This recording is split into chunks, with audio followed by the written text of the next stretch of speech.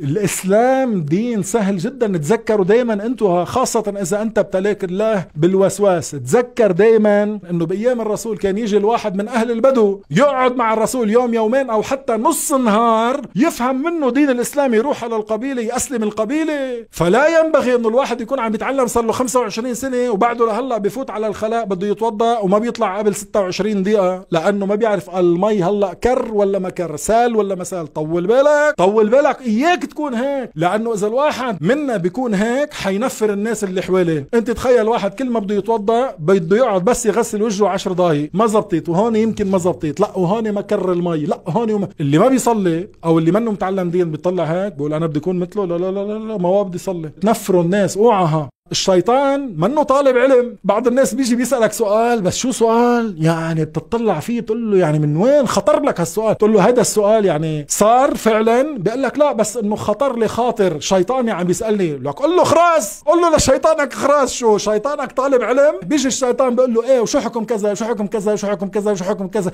شو حكم كذا؟ وهو شو الشافعي هو؟ منه الشافعي. يكفيه إنه يقول بقلبه شو؟ يعني ما شرط يقول بلسانه بس يكون ال attitude تبعوله. شو يعني ال attitude؟ ال attitude يعني يكون حالته وكأنه يقول للشيطان خراس منه طالب علم قوم حل عنا قوم نط. فالحاصل يا أحبابنا الكرام لما يجي الشيطان ويسألك سؤال سؤال بده الإمام الشافعي مثل ما بيقولوا أو الإمام مالك أنت ما ترد عليه لأنه الشيطان منه طالب علم مشان الوسواس. الشيطان لا يعرف ما في داخلي. الشيطان من برا عم يطلع فيي. واضح؟ يرمي لي أشياء. مثلا بيرمي لي شيء مثل إيش؟ مثل فكر بالفوتبول. مثلا مثل فكر بالوالدة بلبنان. مثل فكر بالسيارة بالطيارة بالسفرة. وهو اللي رمالي هذه الأفكار المباحة بزت لي بعدين فكرة كفرية خاطر كفري. يعني أنا عادة ولا بيخطر لي ولا بقوله أعوذ بالله. بيزت لك إياها. فبيشوفك بيشوفك هون. انت عملت ما حدا يحكي سكته خلص بدي أفكر وبيشوفك إنه شو اضطربت بقول أها كمشتك. لأنه هو عم طلع فيك من برا. أما لو زدت لك الخاطر الكفري وأنت عملت حالك ما معك خبر عادي. صرت تحكي عادي. رحت صرت تجلس صحون مثلا تشتغل بالبيت تاخذ لك مشوي مثلا كسدوره آه، تكفي تحضر تلفزيون ولا اللي هو. بشوفك ما تأثرت. بيرجع بيجرب معك مرة اثنين ثلاثة. لما ما تأثر خلاص ما حيصرف وقت عليك كثير بروح عند غيرك اللي هو أضعف منك. فاذا بدي أرجع لكم الشيطان لا يرى ما في داخلي إنما يرى الظاهر مني. هو الشيطان يلي بلش يرمي لك إنه شو بدنا نفطر اليوم؟ الشيطان بيرمي لك مثلا إنه شو بدك مثلا تعمل بعد الإفطار الكزدورة أو الحزورة اليوم مثلا أو المسلسل يا خيي؟ هو عم بيرمي لك إياهم. هذا كله شيء مباح لحد هلأ. بيرجع أنت شو عم بتفكر بالمسلسل بالإفطار بالأكل شو حتعمل الكزدورة الحزورة؟ وهون لما يشوفك متاخد معه بالشيء المباح من الخواطر بيرمي لك هيديك الرمية. بيرمي لك خاطر ما في الله. بف بينزل عليك هيك. الله أكبر. لا إله إلا الله. أنا بعرف لا إله إلا الله. ولكن هون لأنه أنت عادة ما بتقول ما في الله. أنت بتعرف لا إله إلا الله. الله موجود لا شك في وجوده. فاعرف إنه هيدا الشيطان الخبيث. عرف إنه هيدا خاطر من الشيطان. ولكن على مين؟ هيك بدها تكون نفسيتك. على مين؟ قوم نط. هيك بدك تكون من جوا كأنك عم تقول للشيطان خرس قوم نط. تعرفوا إنه هيدي الخواطر الشيطانية كانت تجي حتى على صحابة الرسول راحوا لعند الرسول صلى الله عليه وسلم قالوا له يا رسول الله عم بيجي على قلوبنا خواطر يعني بغير إرادة خواطر مزعجة. نحن ما بنقول هيك. قد يكون فيها سب لله أو سب للرسول نحن ما بنقول هيك. فنكره هذا. فالنبي قال لهم أوجدتم هذا؟ أي أوجدتم الكره لهذا الخاطر؟ قالوا له نعم. فقال لهم هذا من صريح الإيمان. يعني كرهكم لهذا الخاطر الكفري هذا دليل على قوة إيمانكم. لأن المؤمن لا يرضى بهذه الخواطر. ما بيعرف الشيطان شو في بداخلك عم ينظر فيك من برا. فأنت لما يرمي لك هذا الخاطر إذا كنت بنت فكري إنه ماشي على الطريق وواحد صار يعاكسك. هل بتوقفي وبتردي عليه ولا بتضلك ماشي ولا تلتفتين إليه؟ طبعا المرأة الشريفة ما بتلتفت إليه بتضل مكفية طريقة عارفين شو بدها. منا من هالنسوان اللي بيوقفوا على كل صفيرة وعلى كل واحد بيعاكسها وكمان إذا كنت رجال واسمك أحمد أو محمود أو حسن مثلا. ماشي على الطريق فواحد من الناس عيط يا أنطوان هل بيطلع إنه أنا المعني؟ هل بشك إنه هل هو المعني؟ لا ولا يشك بذلك لأنه بيعرف ما اسمه أنطوان إنما اسمه محمود مثلا. بكفي طريقه عادي. ونحن لا إله إلا الله محمد رسول الله وأقوياء عليها نحيا ونموت. بيجي الشيطان بيرمي لك الخاطر الكفري. على مين؟ بدك تكون قوي. نفسيتك كيف بتواجه أنت البلاء؟ كيف بتواجه المرض؟ كيف بتواجه حتى الشيطان؟ هيدا بيلعب دور كبير.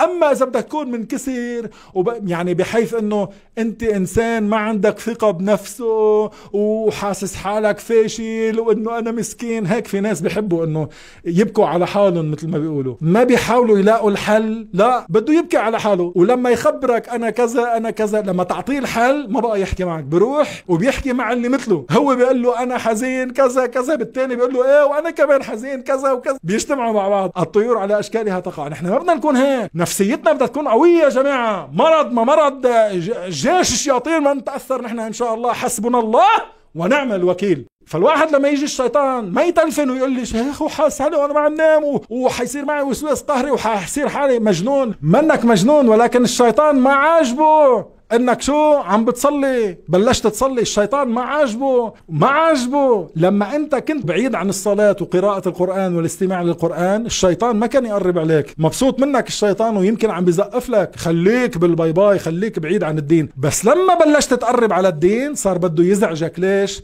مشان ينفرك مشان يبيعدك عن هيدا الطريق. فحيحاول معك ببداية الأمر خاصة. لاحظوا لما تجد بالعبادات مثلا أنت ما كنت تذكر هلأ عملت ورد كل يوم ألف مرة لا إله إلا الله. بصير يجي الشيطان أكثر من قبل. ليه؟ لينفرك. شو كل يوم لا إله إلا الله ألف مرة ما بيعجب الشيطان. هي مرة وما بتعجبه. الشيطان لعنه الله. فكيف بألف مرة؟ فبيجي بيصير يرمي لك. فكر بالإفطار فكر بالحزورة بالفزورة بالكزدوره انتبه هنا شو حتعمل بعد الإفطار وقبل الإفطار وشو حتفطر وكذا. بوف! بيطرقك هذاك الخاطر. فبدك تكون ابضاي بدك تكون قد حالك نفسيتك كيف بتواجه هذا الأمر. بدها تكون قوي مثل الجبل الذي لا يتزلزل خاصة نحن اللي تعلمنا شرع يا جماعة. وبتعمل حالك ما تاثرت ولا كأنه رمالك شيء. يعني خلي هو خلي الشيطان هو يعمل هيك. شو عم بصير ما أنت اللي تعمل هيك تقعد تصفن خليه هو يصفن شو عم بصير هذا؟ ما تأثر.